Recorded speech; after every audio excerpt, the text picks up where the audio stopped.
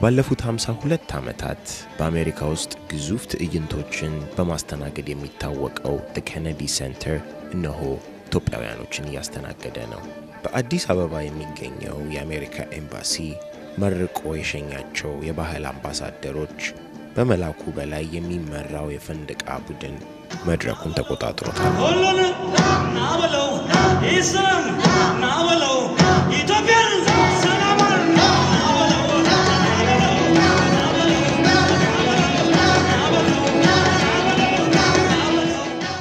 nine member Ethio Color are part of the U.S. Department of State's Center Stage program. ዘጠኝ አባላት ያለው የኢትዮ ከለር ቡድን ስቴት ዲፓርትመንት የተሰኘው የመንግስት አካል ባደራጀው ሴንተር ስቴጅ በተሰኘ ፕሮግራም አባል ሆነው መጥተዋል። ሴንተር ስቴጅ የባህል ዲፕሎማሲ ፕሮግራም ሲሆን በአውሮፓውያን አቆጣጠር በ2012 ዓ ም የጀመረ ፕሮግራም ነው። ዓላማውም የተለያዩ ባህሎችን ለማስተዋወቅና አዳዲስ ድምፆችን በሀገራችን ውስጥ መድረክ ለመስጠት ይንቀሳቀሳል። ሴንተር ስቴጅ ከ47 የተለያዩ አገሮች የመጡ አርቲስቶችን በሀገራችን ውስጥ አስተናግዷል። እነዚህ ከ47 አገሮች የመጡ አርቲስቶችም ከ40 ክፍለ ግዛቶች በላይ ከ100 የተለያዩ ማህበረሰቦች ጋር ተገናኝተዋል። በዋነኝነትም ከተማሪዎችና ከተለያዩ አርቲስቶች ጋር እየተገናኙ ስለኛ ስለ አሜሪካውያን ባህልም ይማራሉ። በመላ ዓለም ላሉ ተመልካቾቻችን ለማስታወስ የምንወደው ነገር ስለምንጋራው ሰዋዊ ፍላጎትና ለሰላም ፍቅርና ፍትህ ያለንን አቅም ነው። For peace, love, joy, and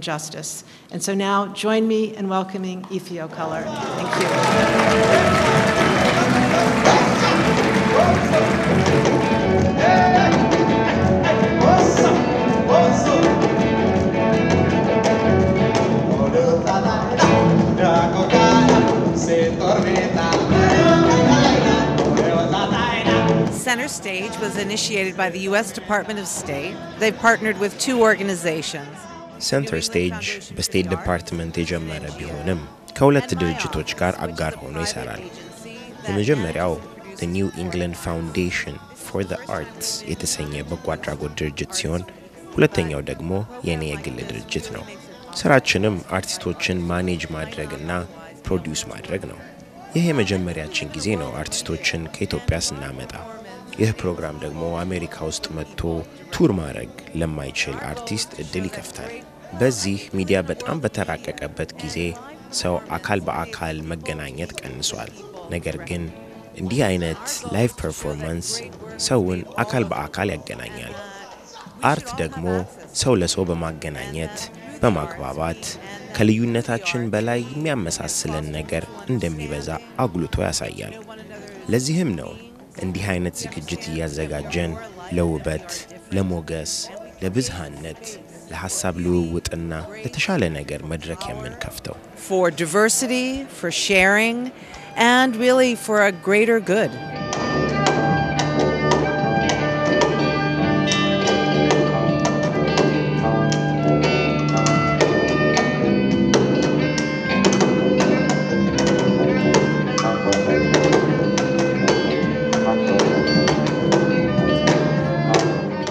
በጣም ደስ ያለኝ ነገር ባህል ሚኒስቴር ማለት ሴንተር ስቴጅ ይህንን ሁላ ወጪ ሸፍኖ አምጥቶን እንደዚህ ሲያገናኘን ምን ያህል ህዝብ ለህዝብን ለማገናኘት የሚሰራውን እንትን ህዝቡ ላይ ያለው ፍቅር ህዝቡ አሁን ኢትዮጵያውያን በብዛት አሉ እና ያዩበት የተደነቁበት የኮሩበት stage ነው። ያንን ሳይ ሁሌ እመኛለሁ። ሀገራችን ላይ አቅሙ አለ፣ እውቀቱ አለ።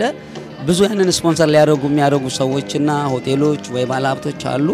ግን ይሄኛው ጥበብ ላይ ደካሞች ነን። ያለ ጥበብ ደግሞ ምንም አይነት ስራ ሊሰራ አይችልም።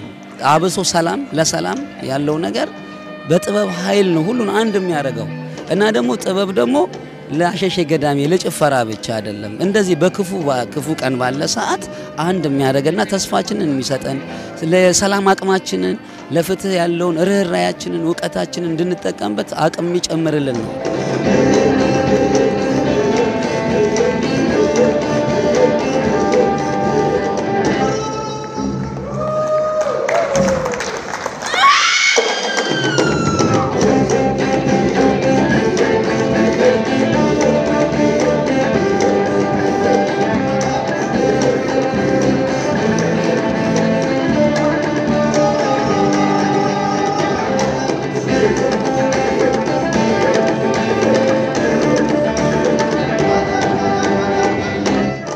ዝግጅቱ በጣም የሚገርም ዝግጅት ነበረ።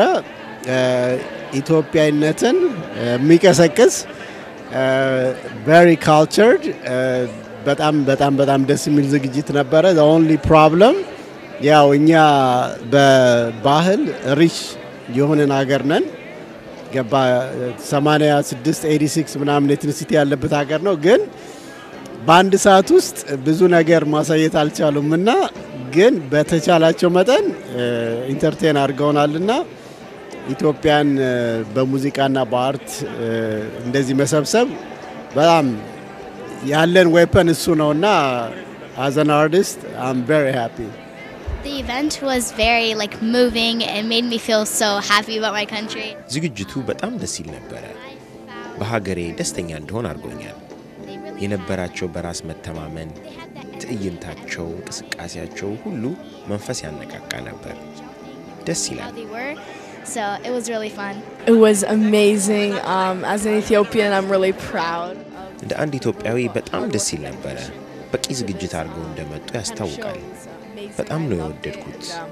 ሌላም ጊዜ በደንብ ይደጋገም ደስ ይለኛል። It was really amazing. I've seen Fendika before in Addis. በጣም ደስ ይል ነበረ። ከዚህ በፊት ፈንድቃን ጎብኝቼ አውቃለሁ። ስለዚህም እንደገና ከቤተሰብና ጓደኞቼ ጋር እነሱን ለማየት ጓጉቼ ነበረ። ሁሌም እነሱን ማየት ያስደስታል።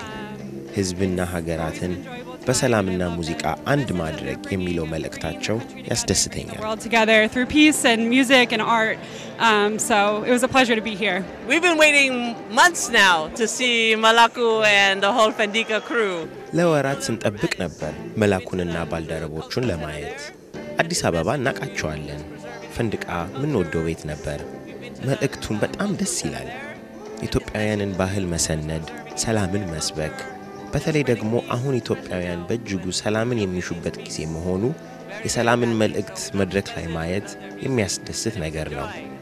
እዚህ ዋሽንግተን ዲሲ በ98 ዲግሪ ፋራናይት ሙቀታማ ቢሆንም ኢትዮ ከለርን ለማየት በባይስክላችን መጥተናል። DC, we rode our bicycles to not miss to see Ethio Color. እንደዚህ አይነት amazing የሆነ magnificent Ethiopian culture ኬኔዲ ሴንተር በማየቴ I'm happy honestly ከስራ ነው ትቼ ወደዚህ የመጣሁት እና በጣም ደስ የሚል ነው። honestly ይህ መበረታታት አለበት። በተለያዩ state ኦች ቢሆን ደግሞ በጣም አሪፍ ነበር። አሁን እንደዚህ አይነት ኢትዮጵያዊነት Ethiopianism ን የምንሰብክበት time ነው። ምክንያቱም ፍቅራችንን፣ አንድነታችንን፣ አብሮ መኖራችንን፣ culture ኣችንን ሁሉ ነገር የምንሰብክበት time ነው እና በጣም ደስ ብሎኛል። I'm happy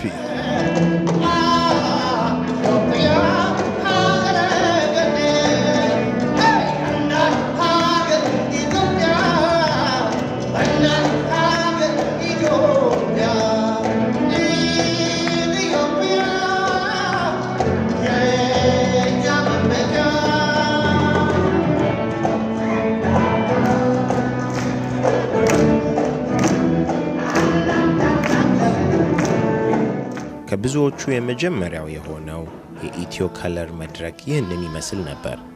በቀጣይም ወደ ባልቲሞር ተጉዘን ባህላቸውን ያስተዋወቁበት መድረክ ከተጋባዥ የአሜሪካ ባንድ ጋርም የነበራቸውን የባህል ልውውጥ በሚቀጥለው ሳምንት እናስቃኛቸዋለን። ተከትሎም በቺካጎ ኢሊኖይስ፣ በሚኒያፖሊስ ሚኒሶታ እና በሎስ አንጀለስ ካሊፎርኒያ በሚኖራቸው ቆይታ ታሪክ ይነገር ዘንድ ሴንተር ስቴጅ በዋሽንግተን ዲሲ የሚገኘውን የኢቢኤስ ቲቪ ቢሮ ተመራጭ አድርጎታል። በተከታታይ የምናቀርበውን የኢትዮ ከለር tour እንዲከታተሉ ከወዲሁ ጋበዝን።